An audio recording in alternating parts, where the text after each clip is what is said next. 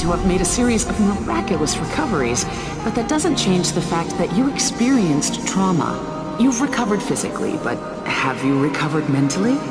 You think there's something wrong with my brain?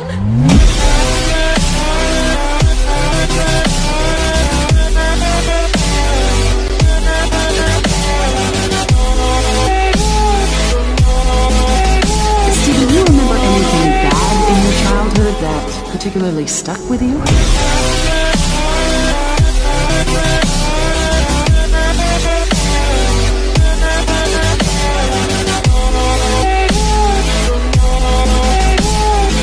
There's no such thing as happily ever